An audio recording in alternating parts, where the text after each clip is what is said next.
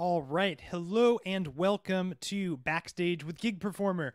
My name is Brett Pontecorvo. You might know me from the YouTube channel and blog Live Keyboardist, but if you have been tuning in recently, perhaps you know me from here.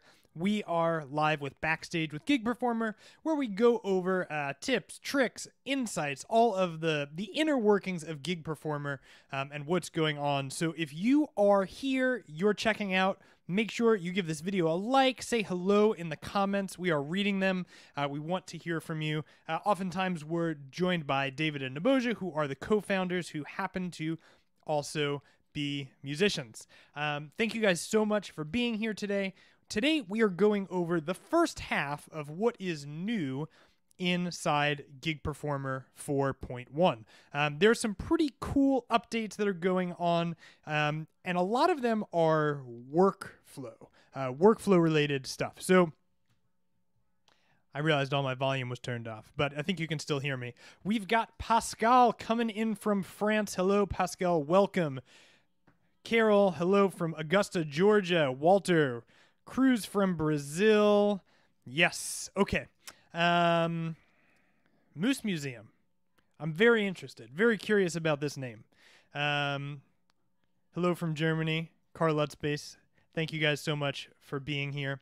Um, so, we're going to jump into some 4.1 updates. If you guys are not currently using Gig Performer, don't forget you can check out uh, a free two week trial of Gig Performer from uh, the Gig Performer website try some of these things out for yourself. And these updates, everything that I'm showing you, uh, will be made available very soon. Uh, October 7th um, is when it's coming out. Oh, we've got more hellos. Uh, St. Louis. Hello, Michael. Hello, Marty from Scotland. So happy to have you guys here. Okay, should we do it? Let's do it. Um, I'm going to pop over here to Gig Performer. So, um, one of the features that we have included is the ability uh, to more easily um, move these global rack space parameters into your local rack spaces. So, the big update with Gig Performer 4 was that we now have um, a global rack space that can be accessed from anywhere, right? So, you can save resource by using uh, effects within your global rack space. But you can also control them from a local rack space because your reverb might be different for your different sounds, even though you're using the same set of reverbs. So let's pop over briefly to our global rack space and check out our wiring view. So inside of here, um, I've just got a really simple reverb and a really simple delay okay? And it's hooked up to a from global rack spaces block. And if we pop back over to our regular uh, local rack spaces here, you can see I've just got MIDI in going to a global rack space, to global rack space, and then coming back in the from global rack space. Now, this is just a piano sound right now. But perhaps I want to be able to use my variations to switch between different types of uh, effects using effects that are in my global rack space. So what we can do is if we come into our edit mode, you will see that we have this advanced parameter here and it's a global parameter assignment where this is going to start. So I can come in here and choose any parameter that I want. I have chosen parameter 0 and the same thing for uh, this size and the same thing I've done for all of these. So any widget that you have mapped, you can come in here to your widget properties, go over to advanced and choose a global parameter assignment. So this is where we're going to start. Now, once we've done this, our next step is getting it into our local rack space. Now, in order for it to work within a local rack space, we need to make sure that we have a from global rack space block. Now, this makes sense because if you don't have that, you're not going to hear your effect, right? So let's check out how this is done. Now, we already know that within this simple piano sound, I have both a to and a from global rack space block. So if I head over here, go into edit, mo edit mode, and perhaps I want to have control over the gain. Okay, I'm going to copy that. I'm going to choose Command C. I'm going to head back over to my local rack space here, enter edit mode, and check out what can happen. If I hold down the shift key, which I realize you can't see, but holding down the shift key, if I right mouse click and hit paste, it's going to bring in the to global rack space version of this block. So check it out. Here's my plugin, to global rack space gain.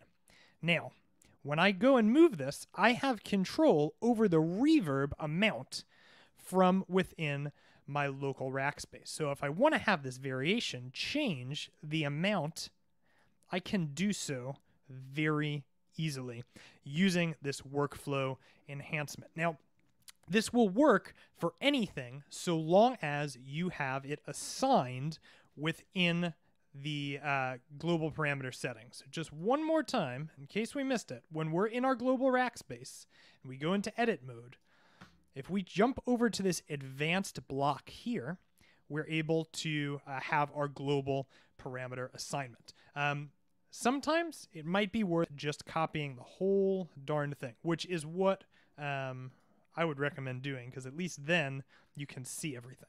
Okay, and automatically this is brought in and you have the ability to set all of these parameters right from your local rack space.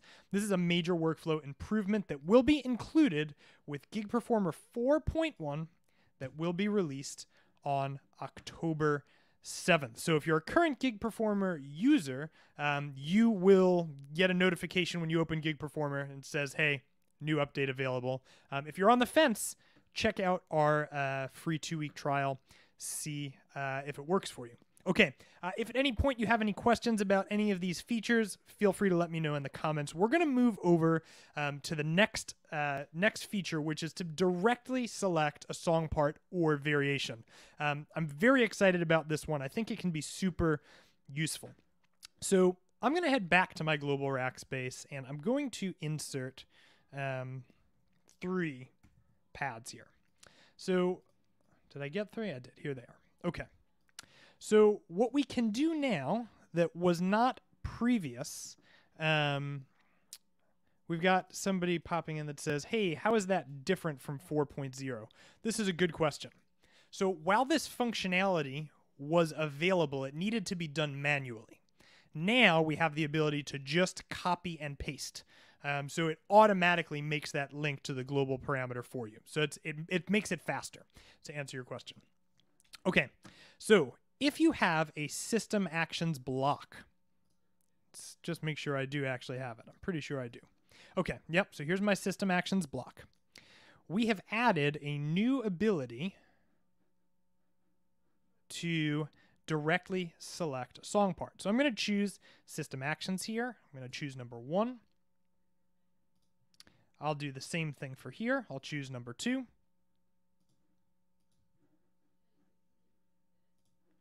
And I'll do the same thing here, system actions, and I'll choose number three. Um, also, there's this little thing down here, right? This is a, a bonus tip. Um, but if you type in part of the string, it will pull it up. It'll filter everything down. Just makes it a little bit faster to map. So now when we head over to our simple piano sound, I will have direct access to any of these mapped variations, which is really nice. Um, this can come in handy, by the way, because if you have uh, multiple different rack spaces, right, with different things, um, you know, you can use one set of these blocks within your global rack space to move between them. Um, so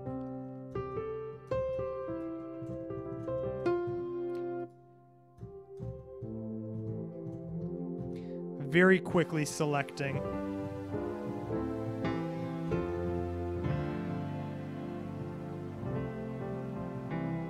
uh, these different parts just using these buttons. Um, I really like this. I think this is a uh, fantastic addition. Okay, so we've got three more new features that are coming up if you have any questions so far about anything we've covered, uh, do feel free to pop them in the comments. But the next thing that I want to show you is that in Gig Performer 4.1, we're going to have the ability to control Chord Pro um, in a little bit more of an effective way. Um, so because Chord Pro uh, was totally new to me, and maybe it's totally new to you, I want to show you the whole kit and caboodle here um, because uh, because it took me some thinking to figure out. So here goes. um, we have the ability to create uh, Chord Pro files inside of Gig Performer. Now, you have to get them from somewhere. Chordie.com is a really good place to do that from. And since we have been working on um, Rosanna, let's let's see if we can find the Rosanna tune here. So here it is, and we can come over and you'll see we've got all these chords. Um, but if you actually copy and paste this, you might have a bit of a problem because this is not really Chord Pro. But if you check up at the top right here, there's this View button, and you can choose Chord Pro. And so now we have all of this stuff set up for us in a way that we can actually copy and paste and add it into Gig Performer. Now, this might be a review for you if you are a guitar player, but uh, since this was so new to me, I was like, we should definitely show it. So let's head over here to our setlist view. Let's create a new song, and we'll call it Rosanna. Fantastic. If you come into Window, you can choose Songs, Lyrics, Chords. Um, somebody just wrote in Rosanna is in the G key. Yeah, it's it's true. Um, and if you know it that quickly, then you're all good. Um, or is it in the key of F?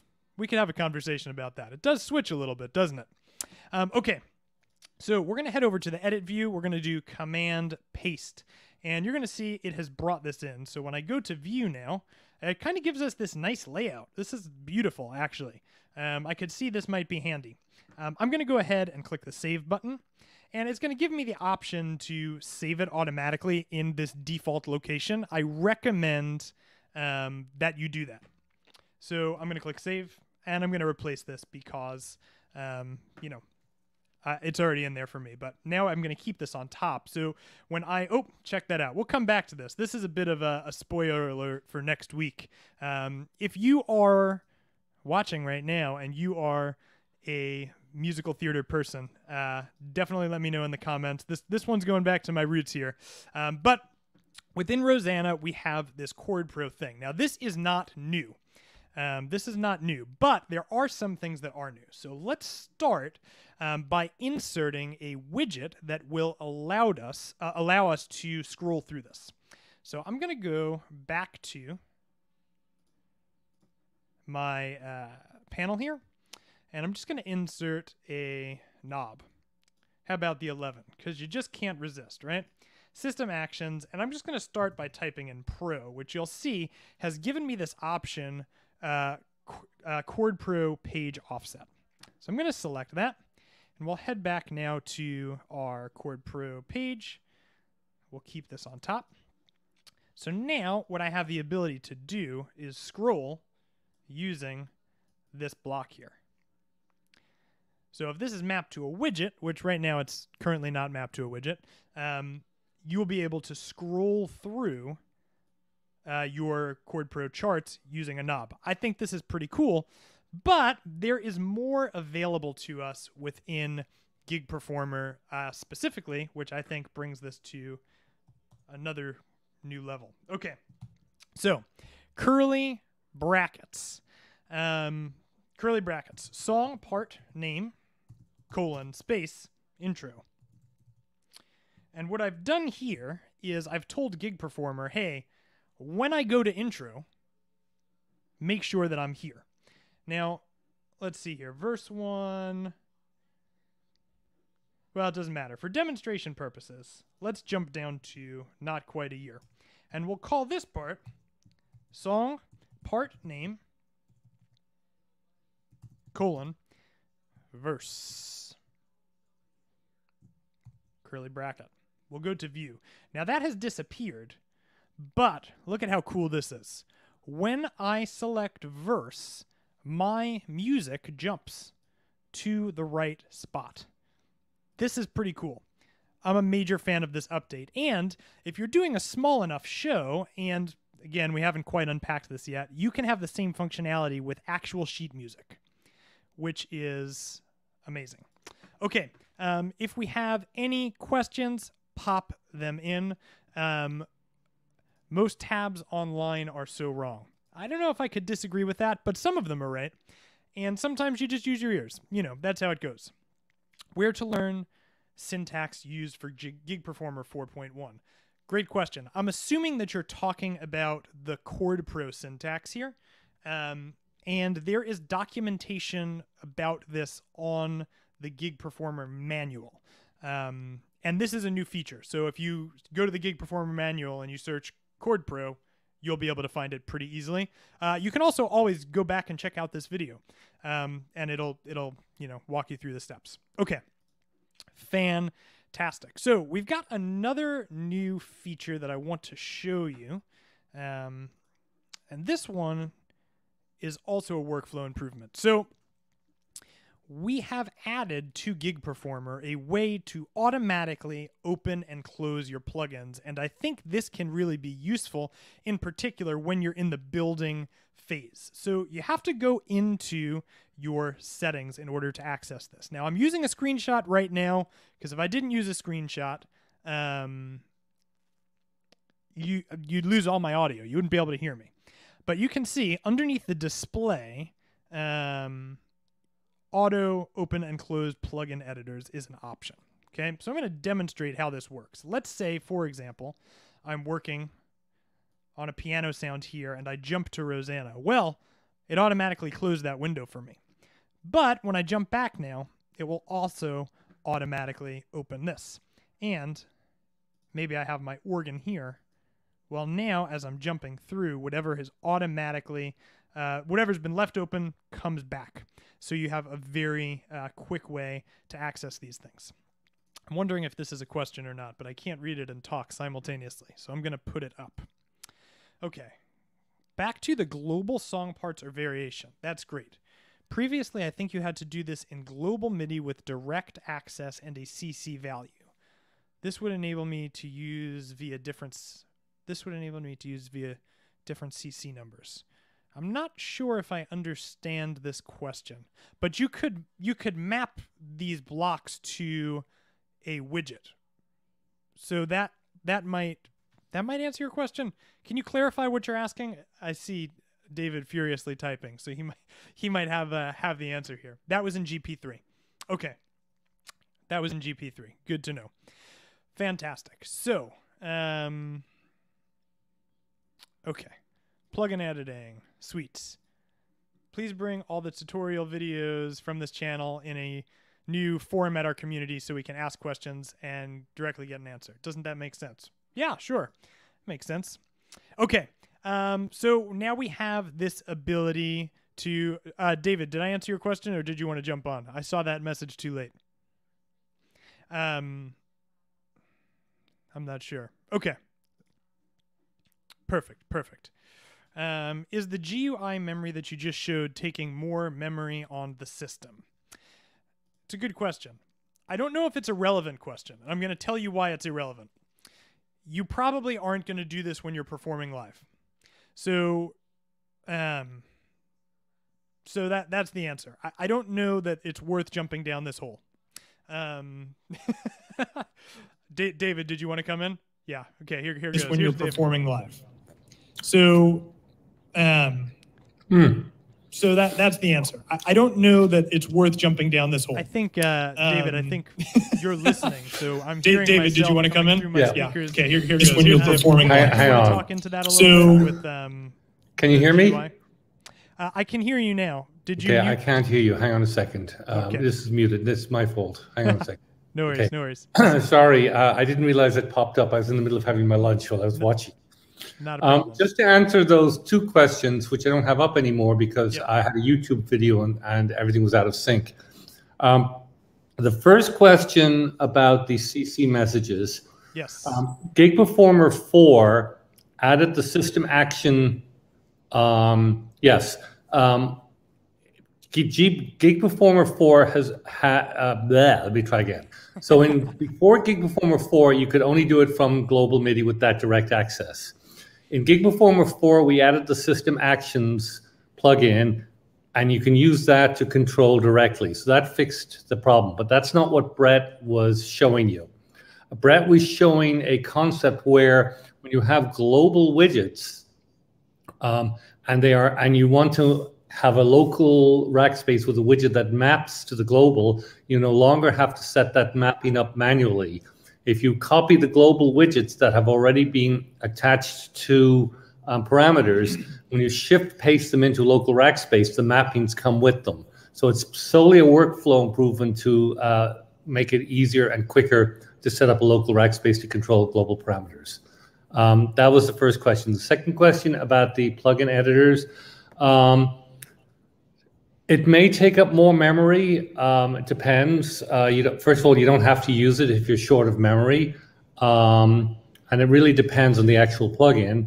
Um, however, this issue about if it takes more memory, I get asked this one a lot, and it's like, yeah, maybe it does, but like, what were you using your memory for? I mean, you're not doing email or surfing the web or writing a document in Word while you're performing. So you know your memory is there to be used. So right now gig performer is using it. Um, so don't get bogged down by how much memory unless you actually run out which is a different problem. Right. And, right. and so, so i'm going to mute you for a second david just so that uh, i don't get the double talking but i'll I, anyway so this question here uh, takes more oh wait no that's the wrong one. So you have to disable the function. So I'm going to say no, but think think about this, Alex. Like when you're performing live, um, yeah, okay, let me speak again.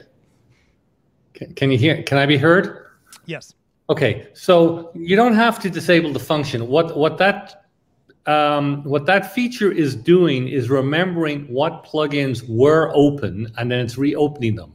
Um, if you have all your plugins closed on your gig, they're not going to open magically. It's not like we're just opening magically every plugin in every when you switch to Rackspace. We're only opening ones that were previously opened by you.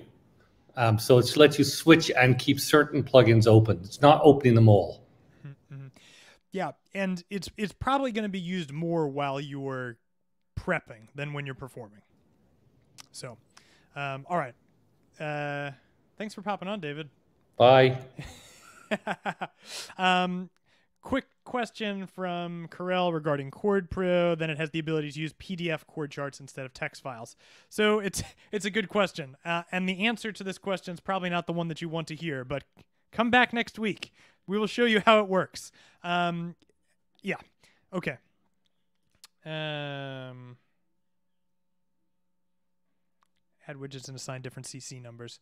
Okay, okay. This, Michael, let, let me show you this. It, it's not CC numbers that you can assign. Let, let's let's jump back. I think that's probably what's happening here. So, um, oh, and you know what? By the way, this is the place to be learning. So no need to apologize for um, asking this question. What's happened here is that I have created in my global rack space three widgets. Okay, and these widgets are attached to a system actions block. And inside the system actions, we have these options for all selecting different um, song parts. I see David furiously typing. Um, oh, uh, Michael, are you on Gig Performer 3? Are you still using Gig Performer 3? That will also help us um, answer this question. Um, but but once you assign uh, these parameters, all it does is jump to that selected variation. That's all it's doing. So in terms of using CC numbers or not using CC numbers, okay, yeah. So you're in Gig Performer 4. So in terms of using CCs or not, well, I mean it, it's it's not really relevant because if you are in your global rack space, this can be mapped to whatever you want it to be mapped to, right? If you go into MIDI, you, you can select anything. Uh, I'm just use a key for now, but um, my KeyLab sending all sorts of crazy messages. But this can be mapped to whatever you want. Here's button one on my other controller. Uh, let's make sure that's okay. So now when I'm in my regular rack space, this is going to jump me back. So you can map in any way that you you see fit, and it's not a specific one; it's a specific number. So it will always jump you to the second one, or the third one, or whatever it is that you desire. Um, CC numbers as I'm using the FCC. Yeah, so you would map your controller to one of these widgets. That's that's what you would do. Um, oh, David's waving at me. Hold on here. Pulling David in. Hey, David. Okay, um, let me explain something because there's a bit of confusion here. In Gig Performer 3, there was a special option in the uh, global uh, MIDI options. Actually, if you bring them up, I can probably, if you bring up the global, or you probably can't, you lose audio, right? I'll lose my audio, yeah. yeah okay. Um, there was a special option that we added to allow you to use a single CC number with different values to switch around. And that was a hack that we added in at the time. Gotcha. In Gig Performer 4, um, with the use of um, um, the system actions thing, which just has functions for selecting particular parts or variations, you can use widgets to trigger them, and the widgets can be attached to anything. So you can use different CC numbers, um, uh, whatever you like. And typically, the way I have my pedal, I don't have an FC300, but I have a similar pedal.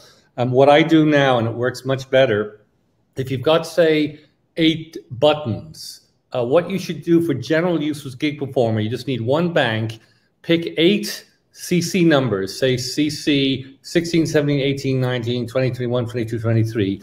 Set them to be momentary. When you push them, they send 127. When you let go, they send zero. And then from there, use Gig Performer to map to widgets. Uh, and then use those widgets to control the system actions if you want to do things like switch parts. Um, that's much easier um, than than uh, than doing it the other way.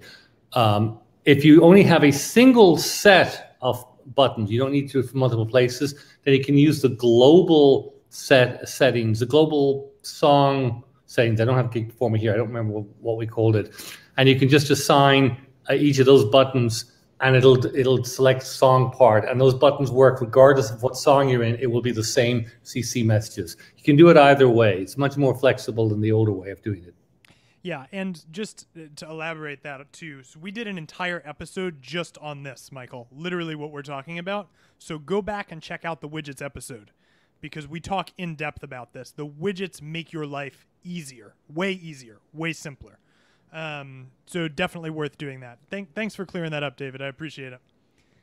Um, okay, so uh, we we, we've gone all over here. That's okay. So there's one more feature, um, but um, let yeah, let's look at it. There's there's one more feature I wanted to show for today, um, and that is uh, for the MIDI file player. So um, what we oops. Okay. So what we'll do is I'm clicking on my screen sharing instead of on my uh, actual gig performer. Okay. So all I've got set up here is a MIDI file player. That's it. Um, and inside of the MIDI file player, there is a new uh, feature called sync. So I guess what you noticed is as soon as I clicked the sync button, um, Gig Performer started playing my MIDI track. So the reason that you might want to do this, right, is like, hey, as soon as the playhead starts moving, I want this MIDI file to start going. So it just makes it easier to keep everything in sync. So when I hit play, it starts and when uh, when I hit pause, it stops. Um, so previously this didn't happen. Now we have the ability to do that. Um, I don't know that there's too much more to elaborate on this. This is a workflow enhancement. Um, what's really cool though is now if you're like you're say for whatever reason you're in setlist view here, you have a new song. Well, this uh, I don't know new song for now, and you want to have uh, a button perhaps that turns your playhead on. Well, then as soon as you p- turn the playhead on, right? If it's just on by default, I guess I need to make sure I have this MIDI player in here. Um, if it's just on, it's going to start. So maybe your click comes in, maybe whatever it is, it just makes your actual performance seamless. And and that's what we're always after, right? We want the seamless performance experience. Um, so just a couple of workflow updates. Now, if you are a current gig performer for user, these updates will be released on October 7th, 2021. If you are not, consider checking it out. Um, I'm I'm a convert from Ableton. So there's some stuff here. We have a free two week trial available. Um, click in, give it a shot. If you're currently using it, you will get this automatically. Um, I was actually talking with Nebojsa. It's it's interesting because Gig Performer is very much living and breathing. You know, where you're purchasing into software but it's constantly being improved and updated based on community feedback, based on what works. Um, there is a community of I, I, I don't know the best way I could describe them is like gig performer ninjas. I don't know what to call them, but the, the beta testers are insanely thorough, so unbelievably good. So you know everything is vetted and they're kind of like hey it'd be great if we could copy and paste. Well now we can copy and paste. Um, and there are more things coming too. So we've got gig performer 4.1 but that's not where we're going to stop. Um, dan just wrote in i was just thinking with all the new gig performer features i rarely use ableton live anymore. Yeah i mean you're not the first one. Um, that that's I think that's awesome. I'm so happy to hear that this is working for you. Um, before we jump off, I do want to pause and just if we have any questions, anything that needs to be answered before uh, we wrap up for today. A little bit of a shorter episode, but that is all right. Um, I'm just going to talk about this for a hot second. Dan, Gig Performer can control your slides. I'm assuming that you are running Pro Presenter. Um, so if you were using MIDI to control your slides previously within Ableton, you can now use Gig Performer to control your slides the same exact way. Um, it would just it would just be a matter of sending the same sending it to the same place. So if you were using like a, a network that connected to Pro Presenter in some fashion, you would set it up the same way. You'd, you'd send your MIDI to the same place you were sending it before, just from Gig Performer instead of from Ableton. So you totally could do this. Um, that actually might be an interesting thing to cover at some point. So to answer your question, yes, Gig Performer can control your slides. Um, that's all. Gig Performer can do that. Um, okay. Uh, looks like we haven't had any other questions come in. So thank you all for being here. Um, I'm really excited about these updates. Again, October 7th, this is going to be released. Um, oh, looks like we've got one more from Michael. Potentially place that entire thing much better than MainStage. Michael, uh, make sure that you join our community forums because um, I think you're going to find some good support there. And I'm so happy to hear that you're thinking of potentially replacing everything. Gig Performer totally can do that. Um, always goes above and beyond. MIDI file player. I get that it plays MIDI files, for instance, while performing a song. Can I trigger tracks to play a difficult riff? Um, nah. Maybe, but I wouldn't. I wouldn't. I wouldn't do that. But um, yes, we can cover MIDI file player. Absolutely. Um, and it can play MIDI files. It can also send CC messages. Uh, it really can do quite a bit. Um,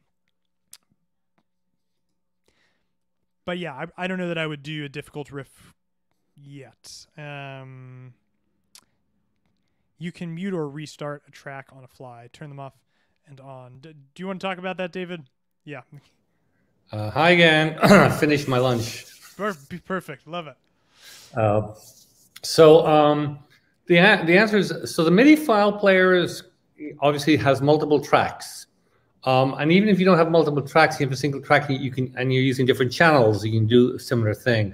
But basically, if you think about it, the MIDI file player is just sending MIDI events, just like a MIDI in block would be sending them if you're playing a keyboard. So you can mute them um, if you want, and if you mute them, um, I'm pretty sure will automatically send a note off so that you don't get a stuck note.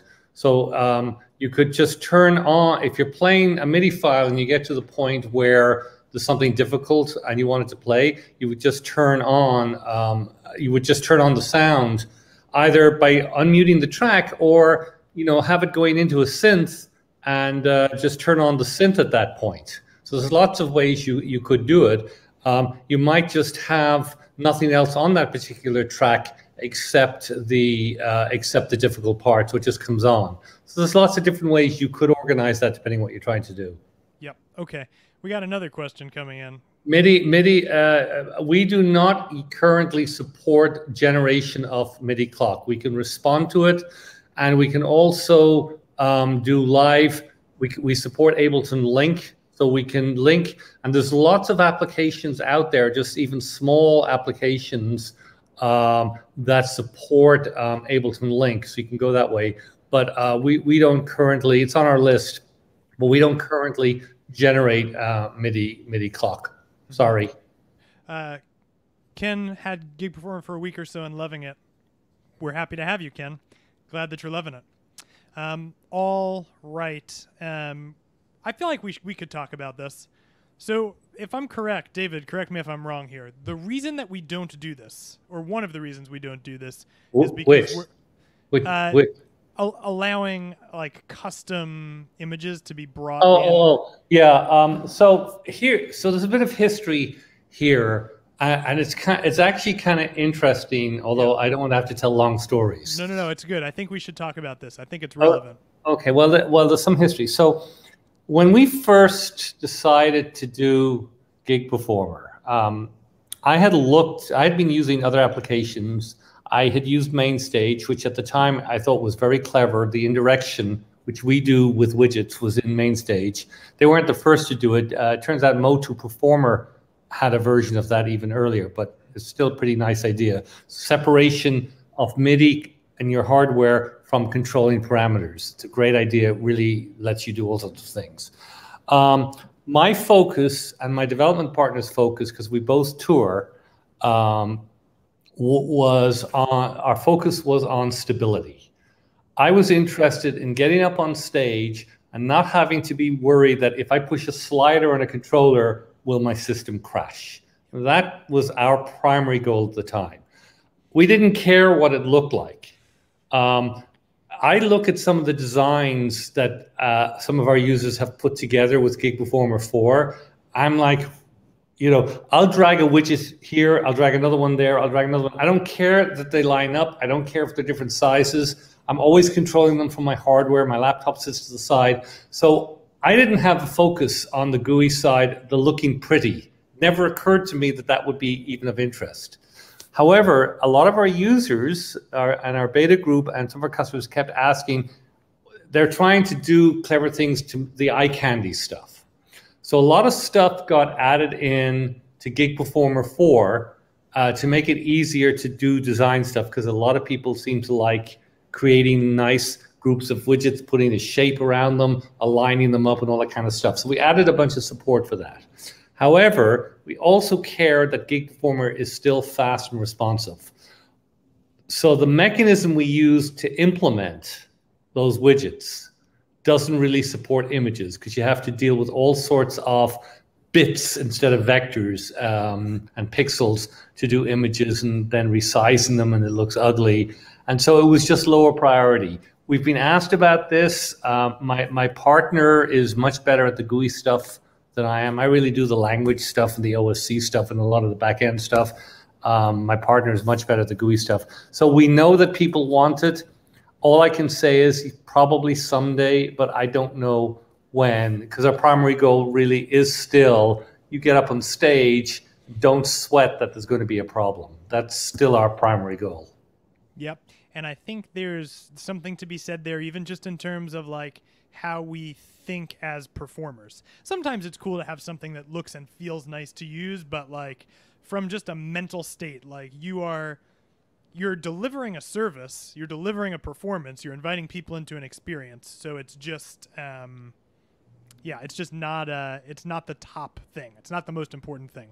Um David, you've been uh, called a true mus- musician here, so whatever whatever that means. it sounds like it's a good thing. I don't know. I don't know. Um, that, that uh, so two things. First of all, yeah, thank you for that. Um, it really is the case that actually touring. I just did a show last week, uh, and I have more shows coming up. uh, Even in COVID times, it's a bit weird, but it's re- a lot of the stuff that's in Gig Performer has literally happened because I was like up on stage going, "Damn, I really want to be able to do this." Sorry to anyone. Um, Yeah, yeah. you know, I, I, why can't I do this? This is a nuisance. Um, I don't know for uh, uh, my favorite example of this feature. I don't know how many of you use the recording stuff in uh, in um, Gig Performer to record a show.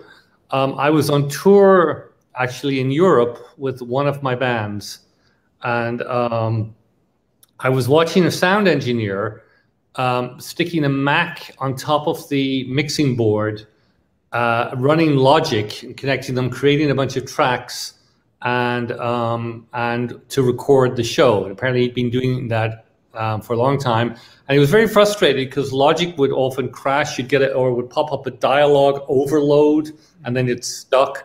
And you know, he's not up on stage when the show is um, uh, running, so he was screwed. So I was looking at that. This was a few years ago, and I said to my partner, I said, you know, we could just have a button. We have all the inputs coming in anyway, because you can plug guitars and mics, and you can do live sound with Gig Perform if you want. So wouldn't it be nice if we could just record the stuff? And we added a feature uh, where you, if you push a button, all the incoming channels just get recorded to WAV files in a time-stamped folder. So the idea being every night, just push the button, and you'll get a new collection of your live show that you can then throw into um, your DAW later. And actually, I was at a new place the other night, and we used. I'll tell you a great story. um, uh, we, our, our, drummer, who's who, who's the band leader for one of the bands, it's a Steely Dan tribute band. He wanted to record the show, and he had Pro Tools on his system, and he was having trouble. I said, "Well, put Gig Performer on your laptop." So he, so we put Gig Performer on his laptop. We brought it up to the front of house. It wasn't our engineer. It was I'm, I'm not going to mention names, but it was just it was the house engineer. Uh, plugged it into their sound card with a USB cord. Showed them push this button, and you know, and off he goes. At the end of the show, um, uh, Jerry goes up to pick up the laptop. The guy says, "There's a charge of fifty dollars to record the show." Jerry looked at him and said, Are you telling me you're charging me $50 to push the start button on my laptop? And uh, that was the, nevertheless, he didn't pay him. But uh, I told them they should buy Gig Performer, that they could charge everybody else $50 for recording the show. But it was kind of funny. But the point is, a lot of the stuff that's in Gig Performer really comes from us using it. Um, the, that new feature where you can copy the global widgets and they're automatically mapped happened because I was sitting in my basement preparing for a show and I was going nuts with um, some widgets that I wanted to have. Like, oh, if I could just map these automatically. So, uh, you know, these things are coming from people actually using the product uh, as opposed to, you know, it's outsourced somewhere to a bunch of people who don't actually play. And I think that makes a big difference. Thanks. I talk too much. No, no, it's good. Um, thank you, David. Oops, sorry. sorry. They don't give me a microphone on stage. Maybe they should give you a microphone though. I only sing. I only sing for my own amazement. I love it. Um, thank you, David, for being here. Um, yes, th- all all sorts of stuff here that is great. Um, Glenn, it's coming. It's coming soon. Here's the deal: we release things uh, once we know that they are working hundred percent. Um, so whatever's coming into Gig Performer that you're using that you have access to has been tested and gutted and all of this stuff. Um, so hang in there, it's coming. Um, I see David furiously typing, so I I'm gonna see if he is answering that question a little bit um, be- before we wrap it up. Um, but yeah, it's coming. Um, let's see here. Oh, here. Um, I'm not quite sure I, I, I think Nebojsa, I wasn't here last week. Nebojsa did that by just as a teaser. Mm-hmm. Um, um, the, the answer to that, and, and we have to be very careful because it's more a legal thing. Uh, we don't want anybody to buy Gig Performer on the promise that something will happen mm. or something will be there. We don't want to tell you, yes, you should buy it now because we're going to have this feature. Mm-hmm. Um, and um, and so basically, we really generally don't talk about stuff that's not actually we know hundred percent is there. This is the first time actually we've ever even had a a, a, a session where we've talked about something that's not actually out yet, but it is going to be released. It's ready to go. So, you know, we're 100% certain. But generally, um, we, we, we can't, we don't promise anything um, that's not actually there. Because you know we may run into a problem and we have to pull it out again or it breaks something that we didn't think of at the time. So sorry um, i can't tell you. Hopefully it will come sooner rather than later but i can't say if and when. No no guarantees on on that. Sorry. Mm-hmm, mm-hmm. yeah um, everything is tested. Like we're we're putting out we're putting out stuff that runs that's uh, top of the line um, um, that, that, that, oh.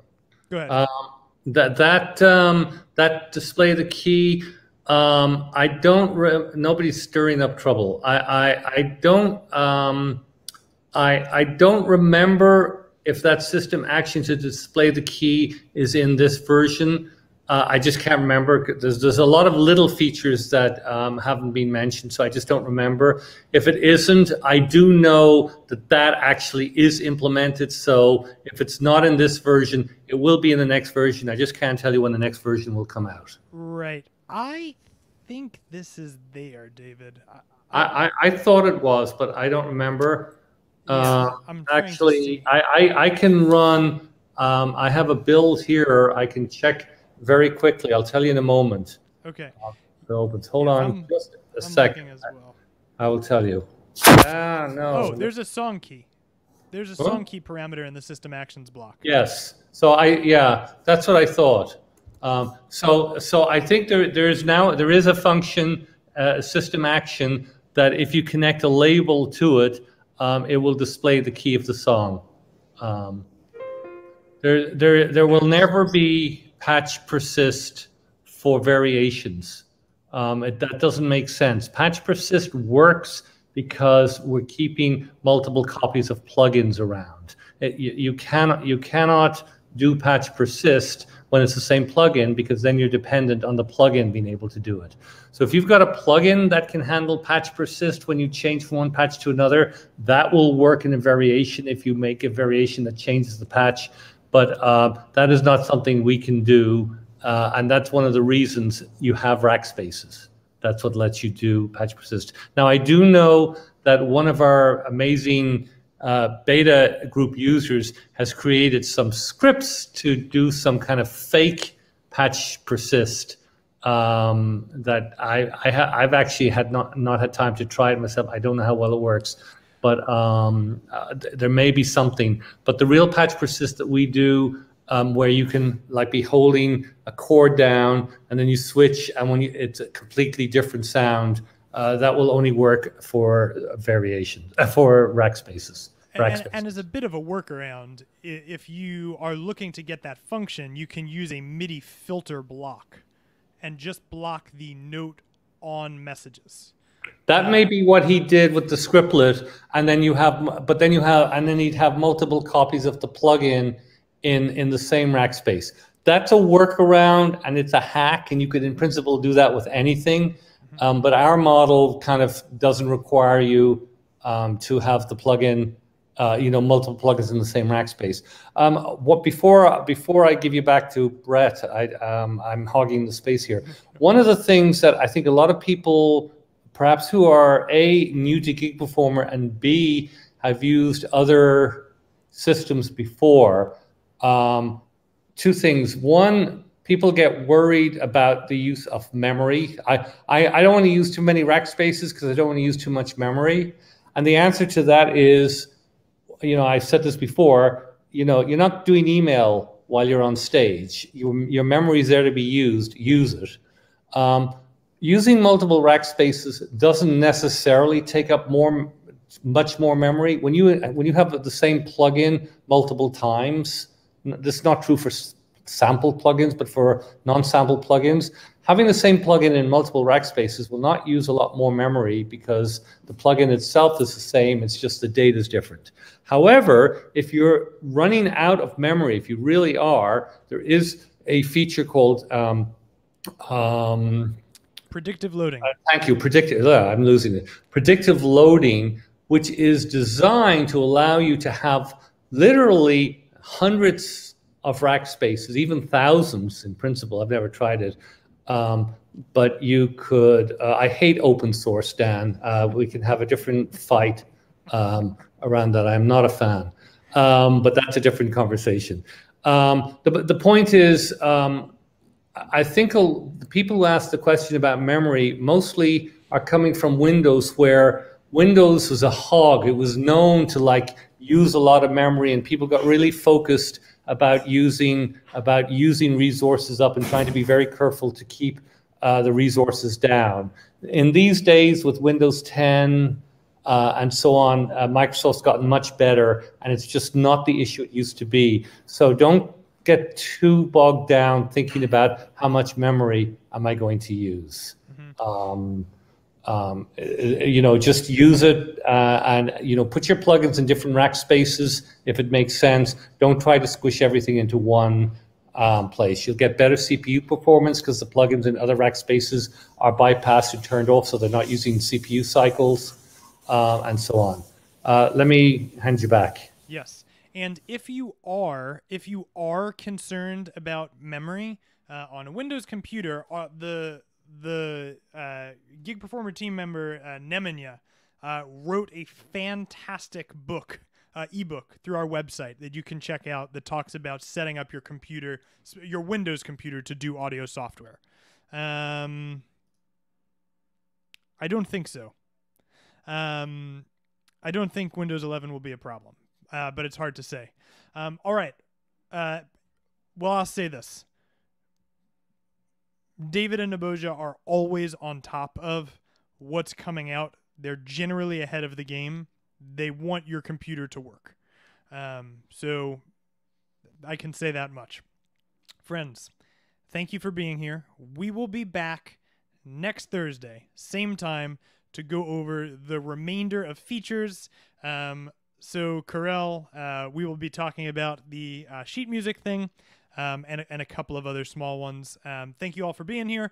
Always great. And um, yeah, we'll see you next week.